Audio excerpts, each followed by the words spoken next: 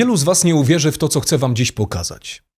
Nie uwierzy, bo w normalnym kraju, który szanuje swoją przeszłość, a co za tym idzie, przyszłość, byłoby to niemożliwe. Będzie to krótka opowieść o słynnej Reducie 54, Reducie Ordona, a raczej o tym, co z niej obecnie pozostało. Tu Marek Miśko i kanał Marek Miśko Czuwaj. Czuwaj w sobotę o sprawach społecznych i politycznych.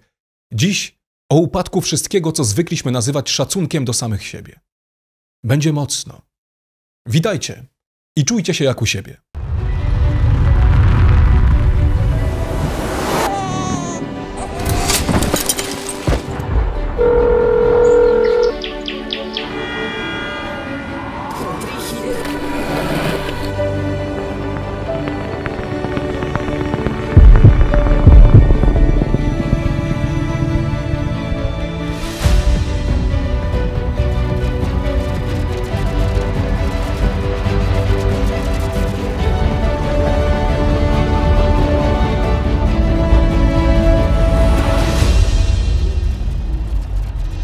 Dusze gdzie? Nie wiem. Pytał i dawał odpowiedź zarazem Mickiewicz w swym słynnym wierszu, którym karmiliśmy się przecież jako naród przez dzieje. Ja natomiast wiem, gdzie są szczątki tych ludzi, ale nie wiem, czy wy chcecie wiedzieć. Pomiędzy 2010 a 2013 rokiem na terenie dawnej reduty numer 54 prowadzono badania archeologiczne i tym samym ekshumacje. Prace przerwano, ale do dziś ich nie zakończono. Archeolodzy skupieni wokół instytucji państwowych, ale i poważnych organizacji społecznych zajmujących się historią i archeologią odnaleźli wówczas znaczną ilość kości obrońców Warszawy z roku 1831. Szczątki należące do około kilkuset osób. Odnalezione kości zostały umieszczone w 50 kartonach i rzucone na półki zaplecza Państwowego Muzeum Archeologicznego w Warszawie, gdzie leżą do dziś, a od tamtego czasu minęło przecież ponad 10 lat. Nasi bohaterowie nie mają więc przypisanych nazwisk, ale numery ewidencyjne. Taka oto spotkała nagroda tych, którzy nie kłaniali się kulom i kartaczom i nie chcieli się poddać moskiewskiej nawale.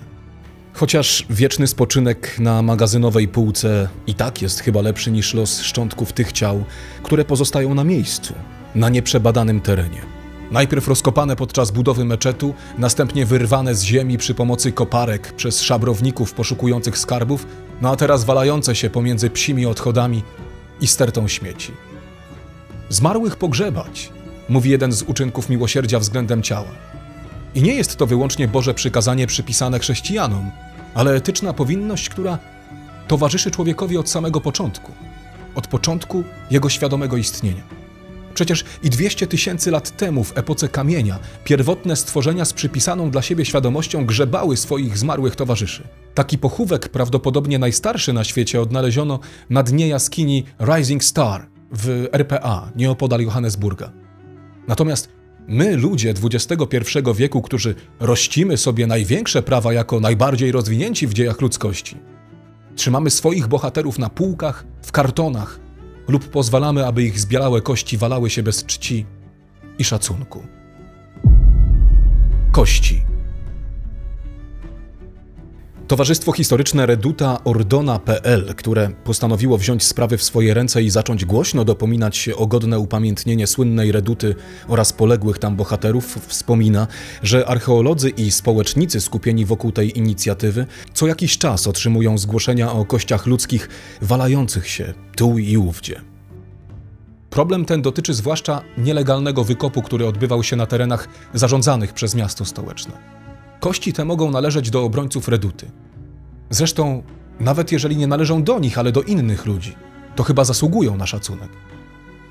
No dobrze, ale jak mogło do tego dojść, skoro pomiędzy 2010 a 2013 rokiem na miejscu swoje prace prowadzili archeolodzy pod okiem państwa? Odpowiedź na to pytanie wydaje się jeszcze bardziej dramatyczna.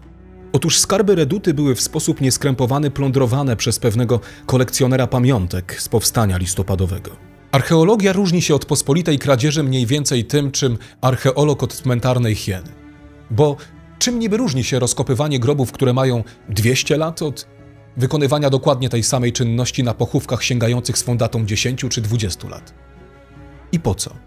W poszukiwaniu drogocennych precjozów, a nóż żołnierz miał przy sobie złote monety albo zęby, guziki, orły z ładownicy. W archeologii podczas dokonywania ekshumacji, poza celem głównym, czyli pochowaniem szczątków z honorami w grobach, a nie w dołach śmierci, jak to ma miejsce obecnie, najistotniejszy jest kontekst. Gdy prowadzone są prace wykopaliskowe, znalezisko z punktu widzenia badacza historii ma sens tylko wtedy, jeżeli dokładnie przypisze się e, stan faktyczny, który został zastany. Gdzie leżał, jak leżał i co miał przy sobie ten, którego wykopujemy.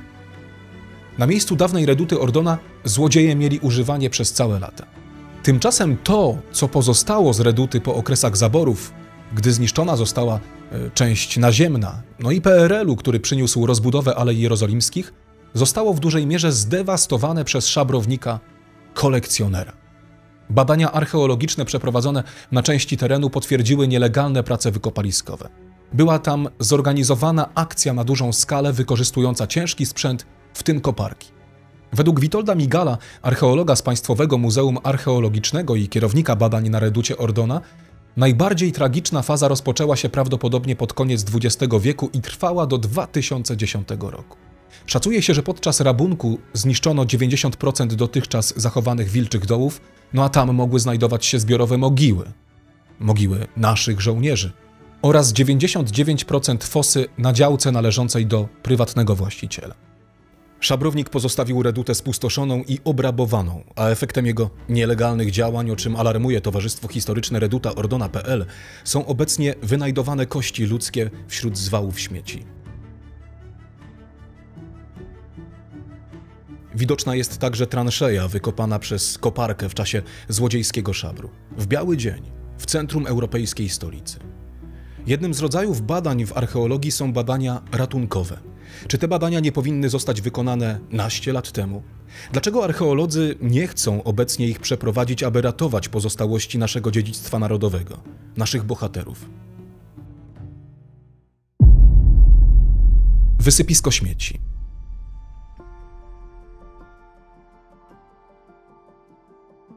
Ale niestety nie tylko walające się kości, nie tylko brak godnego pochówku czy miejsca upamiętnienia smuci i poraża w tej całej sprawie.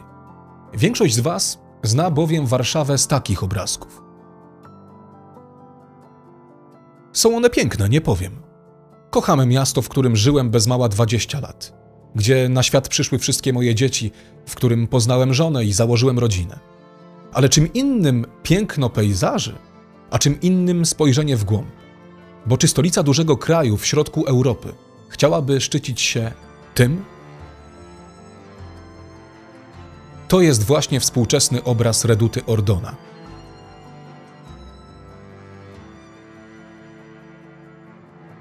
Góra śmieci w sercu Warszawy, na terenie reduty, obok grobów polskich żołnierzy. Butelki po alkoholu, puszki, plastik, zużyte folie, zniszczone sprzęty gospodarstwa domowego, stare ubrania, walizki, szmaty i odchody psów.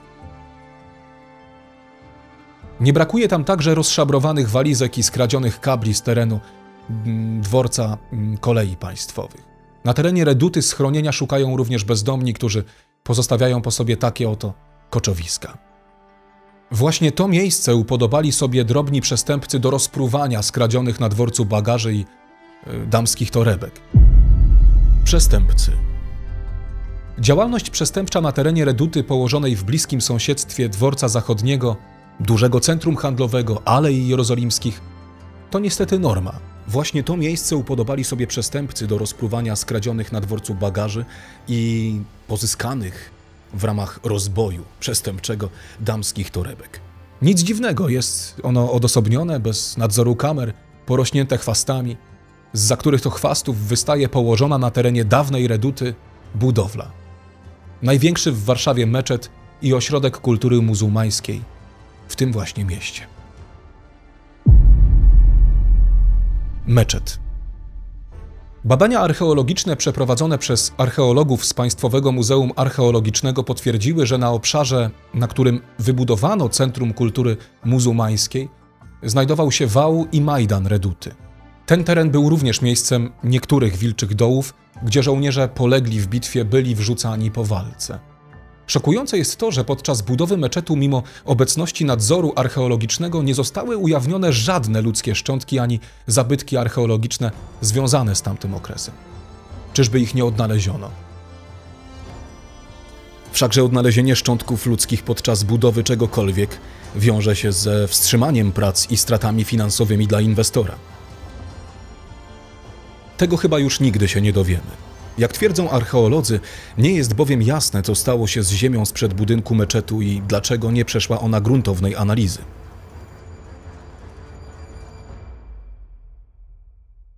Obecnie w środę i w piątki kierowcy jednej z dużych korporacji taksówkarskich gromadzą się w meczecie na swoje modły, no i niestety również są obserwowani na terenie Reduty w trakcie załatwiania pewnych spraw. Polityczne obietnice.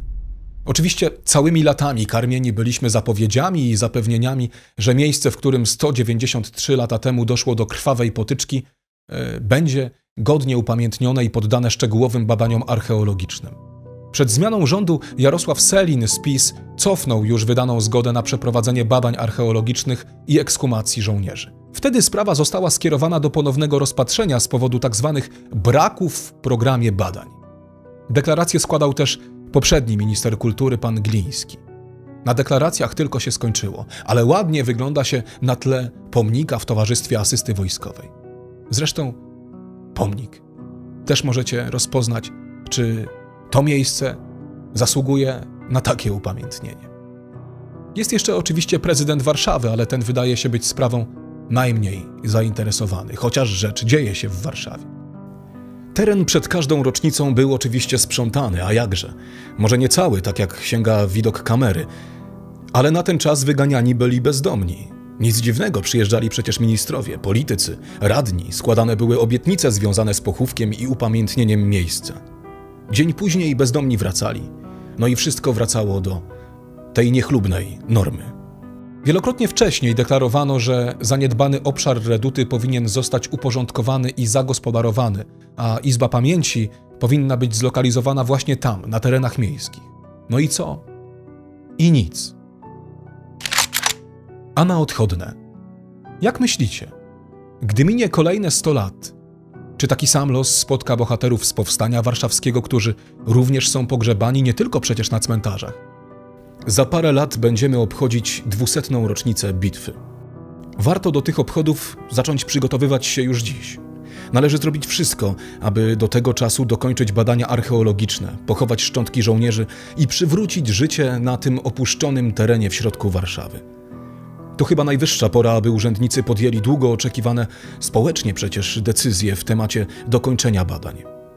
Nie można dłużej zasłaniać się kolejnymi brakami w programie badań, jak robili to minister Selin, czy przejmować się zgłaszanymi regularnie utopijnymi pomysłami ludzi bez wyobraźni, którzy chcą odbudować umocnienia reduty, ignorując fakt, że znaczną część reduty zajęły już Aleje Jerozolimskie i zabudowa meczetu. Przez zaniedbania i indolencję urzędników oraz takie czysto polskie, pieniackie działania kilku pseudopatriotów od kilkunastu lat szczątki powstańców są magazynowane w kartonach, a inne nadal znajdują się pod ziemią na terenie reduty, przypominającym teraz śmietnik. Wydaje się, że jedynie dokończenie badań archeologicznych pozwoli na ekshumację wszystkich szczątków żołnierzy, a także ich należyty pochówek i godne upamiętnienie bitwy.